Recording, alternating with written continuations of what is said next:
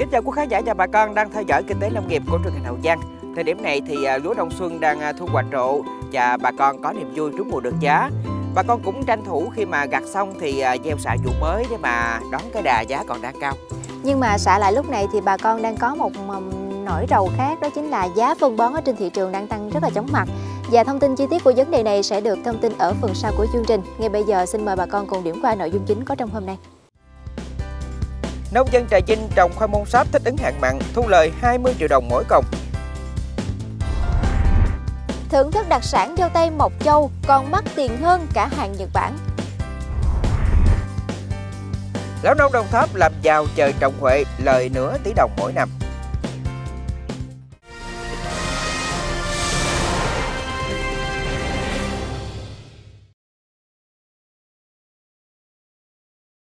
Ông bà ta hay nói à, nhất nước nhì phân, tam cần tứ giống. Mỗi vụ mùa thì điều bà con lo lắng nhất đó chính là giá các loại vật tư nông nghiệp như là phân thuốc tăng thì đồng lời của bà con cũng teo tóp. Được biết từ sau Tết Nguyên đáng đến nay thì giá các loại phân như là DAB, ug NPK thì tăng từ 30.000 đến 130.000 đồng một ờ, bao 50 kg và đây chính là mức giá tăng cao nhất trong nhiều năm trở lại đây. DAP xanh Hồng Hà tại chiều cửa hàng vật tư nông nghiệp ở thành phố Cần Thơ và các tỉnh lân cận ở vùng đồng bằng sông Cửu Long như Hậu Giang, Vĩnh Long, An Giang có giá lên đến 850 một bao. Mức giá này đã tăng khoảng 250 một bao so với thời điểm cuối năm ngoái. Còn giá bán lẻ đạm Cà Mau tại nhiều cửa hàng vật tư nông nghiệp đang ở mức hơn 500.000 đồng một bao, tăng hơn 150. Trong khi đó, phân bón NPK đầu trâu và NPK cọ bay ở mức 650 đến 660 một bao, Riêng phân bón kali ổn định ở mức giá 400 đến 440 một bao tùy loại. Giá tăng mạnh do ảnh hưởng bởi giá phân bón trên thế giới cũng tăng và các chi phí sản xuất đầu vào, nguyên liệu nhập khẩu phục vụ sản xuất phân bón trong nước tăng. Đồng thời, dịch Covid-19 đã làm cho việc nhập khẩu một số loại phân có phần gặp khó, cũng đẩy giá nhích lên, nhất là đối với phân DAP và URE. Ngoài chuyện giá cả vật tư thì à, nông dân trồng lúa ở miền Tây còn thấp thỏm lo âu vì hạn mặn bổ dây ở những vùng à, có đê bao và chủ động được nguồn nước như là tại huyện Châu Thành A của tỉnh Hậu Giang thì còn đỡ. Chứ đối với à, vùng trồng lúa ở ven biển như của tỉnh Trà Vinh thì bà con à, lo lắng dữ lắm. Nhưng mà trong cái khó thì lót cái khôn, bà con ở huyện Trà Cú của tỉnh Trà Vinh đã linh hoạt chuyển đổi cây trồng, à, giảm bớt diện tích trồng lúa để mà trồng sang các loại cây trồng khác trong thích ứng biến đổi khí hậu của mùa hạn mặn năm nay. Phòng Nông nghiệp và Phát triển Nông thôn huyện Trà Cú, tỉnh Trà Vinh cho biết, Khoai môn sáp là cây trồng rất phù hợp cho các hộ ít đất sản xuất, nhất là ở vùng đất trồng lúa gò cao. Bên cạnh đó, chi phí đầu tư ít và thời gian từ khi trồng đến lúc thu hoạch khoảng 5 tháng, cho nên trồng được hai vụ trong năm. Với năng suất khoảng 2 tấn mỗi công, giá bán từ 20 đến 26 000 đồng một ký. Bình quân mỗi công, nông dân có lợi khoảng 15 đến 20 triệu đồng. Hiện nay, huyện khuyến khích nông dân chuyển đổi bởi đầu ra những năm gần đây khá ổn định, đặc biệt là rất thích nghi với điều kiện thiếu nước tưới của địa phương. Hướng tới, địa phương đang tích cực tìm kiếm các doanh nghiệp để liên kết tiêu thụ, giúp đầu ra khoai môn sáp ổn định hơn. Tôm hùm thì được mệnh danh là vua của các loài tôm bởi vì nó có giá khá là đắt đỏ và chỉ thường dành cho giới nhà giàu thôi.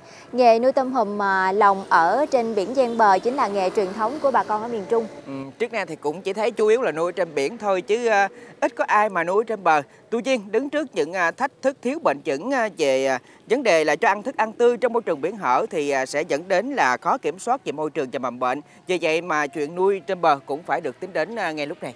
Nói chi xa, bà con ở Phú Yên thì cũng đang triển khai mô hình là nuôi tôm hùm ở trên bờ để mà giải quyết được vấn đề về ô nhiễm môi trường. Và trước mắt thì hiệu quả của mô hình này cũng khá là khả quan. Công ty trách nhiệm hữu hạn thủy sản Đắk Lộc nuôi tôm hùm bông và tôm hùm xanh với quy mô khoảng 5 tấn tôm thương phẩm cho mỗi mô hình. Sau hơn 2 năm, đến nay mô hình tôm hùm bông đạt cỡ 700 gram mỗi con, tỷ lệ sống hơn 76%. Còn tôm hùm xanh trung bình đạt cỡ 400 gram mỗi con, với tỷ lệ sống 78%. Để tôm phát triển trong môi trường chân tạo, yếu tố tiên quyết là nước phải sạch. Các thông số như nhiệt độ, độ mặn, pH phải phù hợp, có dòng chảy lưu thông như ngoài biển. Vì vậy, hệ thống được thiết kế thành một dòng tuần hoàn với bể nuôi và bể lọc sinh học, đảm bảo nguyên tắc bể nuôi cao hơn bể lọc. Tại đây, các vi sinh vật giúp chuyển hóa chất độc hại có thể gây bệnh thành các chất không có hại. Với mô hình xử lý tuần hoàn như vậy, nước trong bể luôn đảm bảo chất lượng, thuận lợi cho tôm hùm phát triển. Dù chi phí ban đầu hơi cao và cũng phải am hiểu về kỹ thuật mới áp dụng được mô hình này, nhưng mà so với những ờ, rủi ro về dịch bệnh, những tác động đến môi trường hay là thiên tai như là mưa bão thì ờ, đầu tư một chút ờ, để có được đồng lợi ổn định đó cũng là một gợi mở để bà con làm giàu. Còn đối với người nuôi cá bổi ở Cà Mau thì cũng đang lao đao vì giá cá giảm mạnh, rồi là thương hiệu khô cá bổi Cà Mau thì cũng đang bị làm giả nữa. À, giá cá bổi chỉ giúp cho bà con ở mức là thu về khuề vốn hoặc là bị lỗ thôi còn về à, tiêu thụ thì cũng rất là chậm. Toàn xã Trần Hợi, huyện Trần Văn Thời hiện có hơn 100 hộ nuôi cá bổi với khoảng 87 hecta. Từ trước Tết đến nay, giá cá giảm mạnh khiến nông dân lao đao.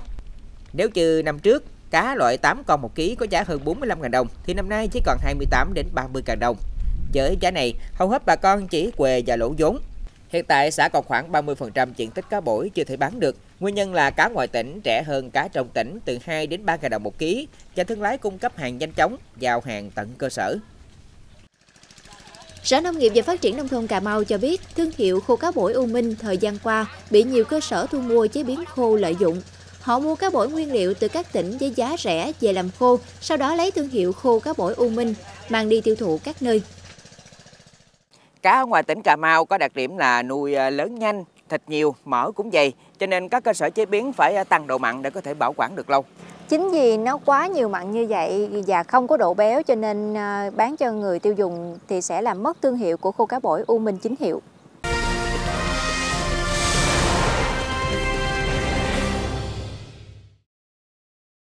Thường thì tôi thấy con gái rất là thích các loại trái cây như là dâu tây, chị Quỳnh Như có thích không ta?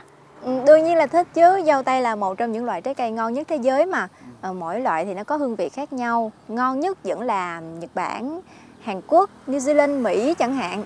À, nhưng mà hình như nghĩ ngon nhất là của nhật bản đó nha bởi vì nó rất là ngon và ngọt. Mèn đét à, tính ra là chị Quỳnh Như là tín đồ dâu tây luôn rồi. Nhưng mà đảm bảo chị và quý khán giả sẽ bất ngờ với một loại dâu tây được à, trồng ở Việt Nam. Mà giá cả thì đắt cả à, hơn đồ Nhật Bản luôn. Mà đối với hàng VIP thì giá đôi khi à, lên tới à, cả triệu đồng một ký. Bây giờ ừ, mời chị Quỳnh Như và quý khán giả cùng cận cảnh ngay sau đây. Những trái dâu tây Hana căng mọng bắt mắt được bán với chiều mức giá khác nhau từ 200 đến 500 ngàn đồng tùy loại có nơi còn bán dâu tây Hana một chầu siêu VIP, trái to như dâu quạt Nhật Bản, chỉ giá lên tới 800.000 đồng một ký. Dâu được nhà vườn thu hái đóng hộp để tránh bị dập nát. Vài năm trước, các vườn dâu Hana còn hiếm, số lượng đếm trên đầu ngón tay. Giờ thì nông dân trồng chiều, vì vậy nguồn cung tăng mạnh. Nhiều người cho biết giống dâu này có xuất xứ từ Nhật Bản, được biết đến trong khoảng 7 năm nay, nhưng trồng chiều thì chỉ 2-3 năm trở lại đây. Vài năm trở lại đây, dầu tây Mộc Châu, Sơn La không còn là cái tên mới lạ với người tiêu dùng. Đến mùa trái chín từ tháng 2 đến tháng 4, thứ quả thơm ngon của vùng cao nguyên thường xuất hiện ở các cửa hàng trái cây, cửa hàng thực phẩm sạch hay ở một vài hệ thống siêu thị. Thưa bà con, từ à, nhiều năm trở lại đây thì bà con ở Lai Dung Đồng Tháp đã chuyển sang làm giàu từ à, trồng huệ. Tính ra thì à, mô hình này không có mới nhưng mà được cái là bà con áp dụng khoa học kỹ thuật cho nên là cũng đỡ tốn công lao động. Cũng chính vì vậy mà đồng lời cũng bộn bộn cho nên là bà con ai cũng phấn khởi. Dùng đất lai dùng của tỉnh Đồng Tháp có thổ nhưỡng thích hợp cho việc trồng huệ. Người dân trồng nhiều nấm rơm để từ đó tận dụng nguồn phân rơm tạo điều kiện thuận lợi cho việc canh tác hoa huệ. Năm 2017, ông Phạm Đức Tánh mạnh dạn thuê 7 công đất ruộng để trồng huệ. Bước đầu cho lợi nhuận khả quan nên ông tiếp tục mở rộng mô hình. Là riêng biệt về cái trồng hoa này đó, thì cái loại hoa có củ nó khó chăm sóc hơn cái hoa cây. Nó cũng hoa nhưng mà cái cây người ta nhổ đi. Cho nên cái này hoa củ cho nên phải hiểu được nó hơn các cái loại cây trồng kia. Là như ví dụ giờ trồng lúa như vậy là tới 3 tháng mới thu hoạch. Còn hàng này nó trao đổi rất nhanh. Chỉ 4 ngày bước một lần trong tháng giờ là bước 6 lần thì cái đồng tiền xây chuyển rất nhanh. Theo ông Tánh, nhờ áp dụng bé quay, nước phun đều làm hoa quệ lên nhanh hơn, tiết kiệm sức lao động và mang lại hiệu quả hơn so với trồng truyền thống. Hơn 3 tháng bắt đầu thu hoạch, liên tiếp từ 3 đến 4 năm nhưng nó phụ thuộc vào cái vùng đất nó chịu hay không á, đó là cái yếu tố yếu tố quyết định. Cho nên là cộng với cái vấn đề đó, rồi hai nữa, cái tầm nhìn về kỹ thuật nghiên cứu rồi bắt đầu tìm sâu được là trong cái kinh nghiệm. Còn nếu mà không biết đó ha, là nó có rất khó, bị bệnh nó cũng nhiều. Rồi bên cạnh đó đấy, là nếu mà không nắm được kỹ thuật thì làm không đạt. Huệ trồng ra được thương lái đến mua tận nhà, thị trường tiêu thụ trong tỉnh và các tỉnh đồng bằng sông Cửu Long, thành phố Hồ Chí Minh. Mặc dù chịu ảnh hưởng của dịch Covid-19 làm giá giảm, nhưng Huệ loại 1 vẫn từ 6 đến 7 ngàn rưỡi một cành. Với 2 hecta mỗi năm mang lại lợi nhuận gần nửa tỷ đồng. 2 hecta quệ mà nhẹ te công chăm sóc, bởi vì đã có khoa học kỹ thuật lo hết trơn rồi. Chính sự à, thay đổi, nắm bắt được xu hướng sản xuất đã giúp cho lão nông làm giàu trên chính à, mảnh vườn thử ruộng của mình.